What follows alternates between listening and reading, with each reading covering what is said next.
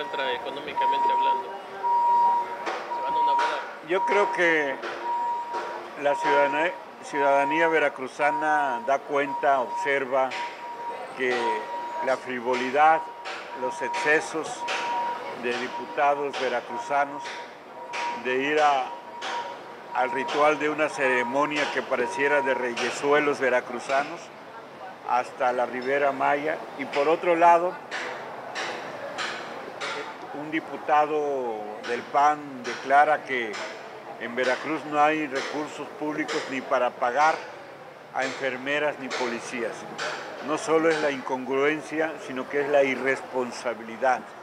Y evidentemente en el Congreso de Veracruz siguen temas pendientes, siguen asuntos legislativos que no han resuelto y se están dando la gran vida a costa, presumiblemente, del erario público que tanta falta le hace a Veracruz.